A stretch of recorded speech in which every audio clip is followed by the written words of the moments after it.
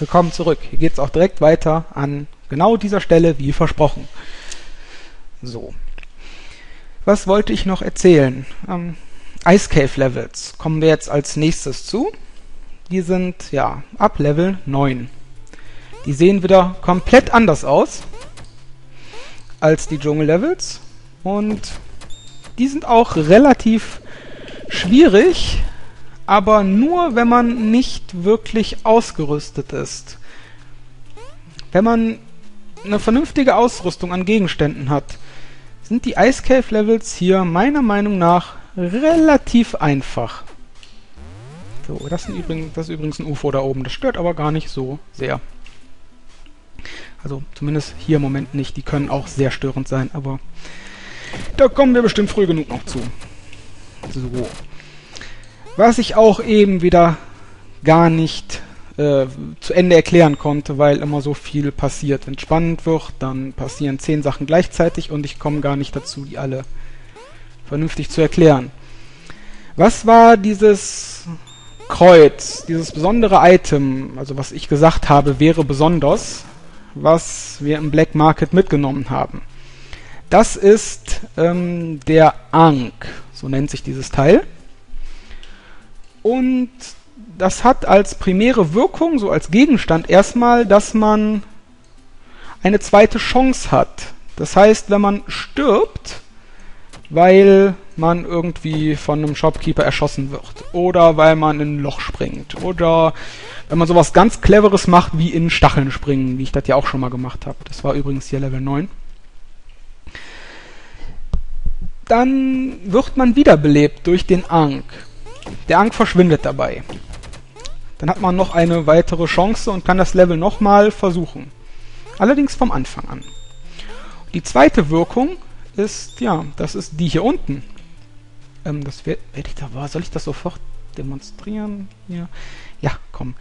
Wenn man sich hier auf diese Statue stellt, wo unten dieses komische goldene Ding drin ist, und sich dann tötet mit hier dem Bombenknopf, steht unten Bomb Die für Sterben, dann bumm, ist der Ankh weg, die Ankh shatters, man wird wiederbelebt und man kommt hier rein. Man kann dieses Teil mitnehmen, das Hedgejet, und hier das Level beenden.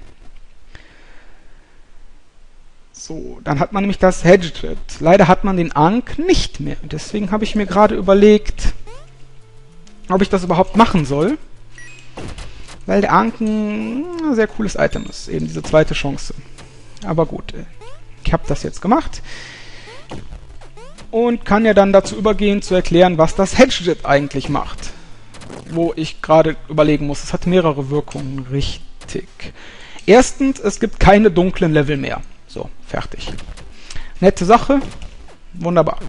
Zweitens, es gibt kein Zeitlimit mehr in den Levels. Denn der Geist kommt nicht mehr. Also dieses ähm, A chill runs up your spine. Das kommt nicht mehr und dann kommt auch kein Geist mehr der einem was Böses will.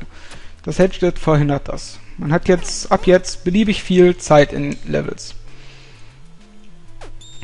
Und man hat, ja, man kann mit dem Hedgelet noch eine Sache machen, die ich eigentlich, ja, die ich eigentlich so als Challenge Run geplant hatte. Möglicherweise das wäre ja auch sehr interessant, dass ich das jetzt direkt schon integriere in das erste erfolgreiche Durchspielen hier. Denn, ja, dann komme ich jetzt mal dazu. Ich, wenn ich hier wenn ich jetzt die ganze Zeit hierüber rede, ist natürlich insofern blöd, dass ich gar nicht wirklich dazu komme, etwas zu den Ice Cave Levels hier zu sagen. Was auch eigentlich sehr, sehr, sehr, sehr schade ist. Hm. Naja gut, ähm, zu den Ice Cave Levels komme ich dann später nochmal, weil da habe ich auch noch etwas vor. Dann erzähle ich jetzt erstmal, wo ich hier gerade schon dabei bin, was das mit diesem Hedgejet und alles auf sich hat. Nämlich, so, hier ist übrigens äh, Psychic Presence, das heißt, hier ist ein Alien in dem Level. Das ist auch so, wieder sowas ähnliches wie äh, Snake Pit, nur diesmal ist es keine Schlangenhöhle, sondern dieses Alien-Raumschiff hier wo ich mal eben reingehe, dann töten wir das Alien und dann reden wir, reden wir weiter über das Hedget. So, hier ist das Alien. Da ist das Alien. Um einfach, um einfach so ein bisschen Zeugs in die Gegend werfen und dann ist das Alien platt und hinter dem Alien befindet sich immer, immer, immer ein Jetpack. Deswegen Alien-Level super, weil Jetpack super. Einfaches Prinzip. So. Und jetzt haben wir das Jetpack. Schöne Sache. So, wo war ich eigentlich dran? Eigentlich, also so ursprünglich, so vor ein paar Minuten. Und so wollte ich ja eigentlich mal etwas über dieses Hedge-Jet erzählen was man damit noch machen kann. Also es gibt keine dunklen Level mehr, schöne Sache.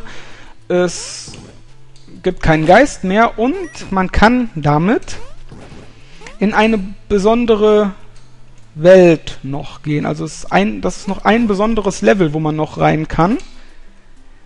Nämlich die äh, City of Gold nennt sich das. Die Stadt aus Gold. Das ist eine Stadt komplett aus Gold. Da sind die Wände komplett aus Goldklumpen. Man kann die alle sprengen und das ganze Gold aufsammeln. Das ist die City of Gold. Und man braucht unter anderem, unter anderem, das Hedget, um da reinzukommen. So. Wie genau man da reinkommt, das werde ich dann möglicherweise, wenn ich mich jetzt nicht dumm anstelle, gleich sogar schon demonstrieren, weil so wahnsinnig weit sind wir gar nicht mehr davon weg. Dadurch, dass ich das durch Zufall das Ganze hier um, auf einmal mitgemacht habe. Der Shopkeeper steht allerdings schon noch im Weg dafür. Da sollte man sich noch was überlegen. Möglicherweise etwas, wobei man nicht selbst drauf geht. Also potenziell irgendwie mit Bomben werfen oder so. Das ist meistens relativ effektiv, weil dann fliegt der in die Luft und ist hinüber. Das ist dann ganz okay so. So, das Kistchen hier nehmen wir noch mit, weil mehr Bomben sind mehr Bomben, ist ziemlich praktisch. Und die Dämsel wird natürlich auch noch eben einkassiert, weil das ist ein hektisch, panisch rumlaufender zusätzlicher Lebenspunkt. Die kann man ja eigentlich auch immer brauchen, so zusätzliche Lebenspunkte. Und das war's dann auch schon mit diesem Level hier. Und der Boden verändert sich wieder, denn jetzt kommen wir zu den Tempellevels, die ich schon dank Versprecher gespoilert hatte. Ja, das sind die Tempellevels. Das ist der letzte Abschnitt im Spiel. Und hier gibt es auch das letzte besondere Item, was man noch braucht, um in die City of Gold zu kommen. Und na, dieses Item kann ein bisschen riskant sein, wenn man es haben möchte. Also es, es wird sozusagen mh, ganz gut bewacht. Formulieren wir das mal so. Wobei ich jetzt nicht von diesem Typen hier sprach, der ist ein bisschen eklig auch durchaus, aber den meinte ich gar nicht. Ähm, Junge, du stehst aber trotzdem krass im Weg hier, also Respekt. Äh, ja, nein, das war gar nicht so geplant. Ich wollte eigentlich irgendwie sowas versuchen, aber das war auch nicht so clever. Äh, Ja, komm, da kommen wir noch dran vorbei. So, alles klar. Deswegen sind die ein bisschen fies, weil die so auch so panisch durch die Gegend wackeln und springen und nicht so schön. So, was wir hier eigentlich suchen jetzt. So, denn ich habe mich gerade entschieden, ich möchte versuchen, den City of Gold Run hier zu integrieren. Das war eigentlich eine besondere Challenge, die ich vorhatte, dass ich ein dass ich einmal diese City of Gold demonstriere. Ich habe mich jetzt dazu entschlossen, ich möchte versuchen, das jetzt hier direkt zu machen, weil ich habe fast alles, was dafür nötig ist, schon dabei. Deswegen, ja, kann man das eigentlich so versuchen. Das hat nicht so gut funktioniert. So, das ist der Shopkeeper. Den, den brauche ich mich gerade eigentlich gar nicht anzulegen, weil hier fehlt noch das letzte Item, was wir benötigen für die City of Gold. Und zwar ist das das äh, Zepter, wie sich dieses Dings nennt. Das ist eine andere Waffe, die quasi die Shotgun ersetzt, weil die ist deutlich besser als die Shotgun. Äh, die, ja, die Waffe, richtig, doch, war doch alles okay so. Warum tue ich so, als hätte ich einen Fehler gemacht? Ich mache doch nie Fehler, das müsste mir doch mittlerweile selbst klar sein. So. Wie bekommt man dieses Zepter? Dieses Zepter gibt es immer im ersten Tempellevel, in dem wir uns ja gerade befinden. Und dieses Zepter wird bewacht, Schrägstrich getragen, aber nicht benutzt, irgendwie sowas, von einem besonderen Gegner, nämlich der Mumie, also äh, was heißt der Mumie, einer Mumie, das ist ein neuer Gegnertyp hier in den Tempellevels. Und diese spezielle Mumie im ersten Tempellevel hat immer das Zepter dabei. Das Problem ist, dass ich diese Mumie hier gerade nicht finde. Sonst würde ich die ja gerne demonstrieren, weil ich möchte... Wo könnte, die, wo könnte das denn noch sein? ähm, ja, müssen wir erstmal anfangen, hier großflächig das Level wegzusprengen. Also da kann ich jetzt nichts dran tun. Diese eine Mumie, die hat immer dieses Zepter. Und dieses Zepter ist der letzte Gegenstand, den man braucht, um in die City of Gold zu kommen. Also, genau gesagt, braucht man nur das Hedged und das Zepter. Allerdings, ja, man braucht quasi eben auch das Instead Eye, um überhaupt an den Ankh zu kommen, um an das Hedged zu kommen. Also braucht man mehr oder weniger doch alle diese Items. So über Umwege quasi. Aber wo ist denn hier in diesem Level? Ich weiß es gar nicht. Wenn ich nach links komme, bin ich dann nicht schon bei dem Shopkeeper von eben? Hm, aber irgendwo hier in dem Level müsste die Mumie sein. Die ist... Die ist immer in dem... Äh, ja, da ist schon der Shopkeeper. Die ist immer in dem ersten Tempellevel. Da bin ich mir absolut sicher. Aber...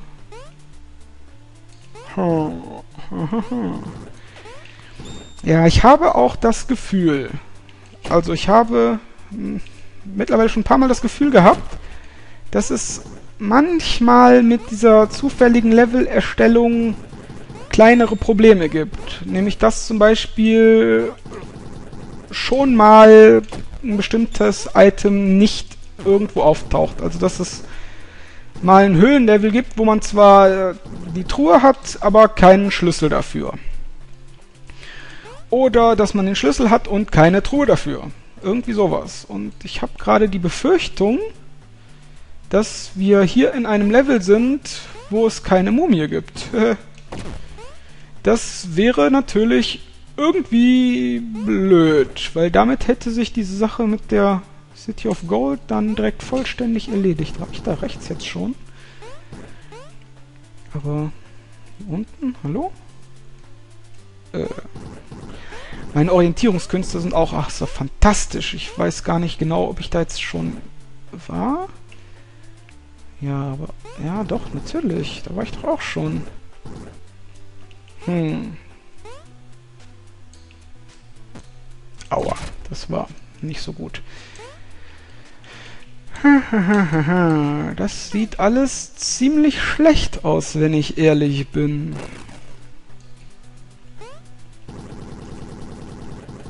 Tja. Äh, Mumie ist ausverkauft, also. Scheinbar nicht im Angebot hier. Das ist natürlich ganz, ganz gemein. Dann wird das wohl doch nichts mit der City of Gold. Außerdem habe ich mich gerade erschießen lassen. Damit hat sich das natürlich sowieso erledigt. Boah, ich könnte jetzt sagen, das war Absicht, weil wenn keine City of Gold, dann gar nicht, aber... Tja. Eigentlich war es nur sehr ungeschickt von mir. Ja, das ist auch so eine Sache an dem Spiel. Wenn man versucht, ein bestimmtes Ziel zu erreichen, dann macht man es sich selbst schwieriger, das Spiel wirklich erfolgreich durchzuspielen, also alle 15 Level zu schaffen. Denn man, ja, um dieses Ziel zu erreichen, was man sich dann gesetzt hat, wie ich jetzt gerade, ich habe ja wirklich mehrfach das gesamte Level da durchsucht, dann geht man eine Menge Risiken ein, die man eigentlich nicht eingehen müsste, wenn man wirklich nur das Spiel durchspielen möchte. Und ja. Tja. Auf jeden Fall, Zusammenfassung ist, keine Mumie, blöd gelaufen.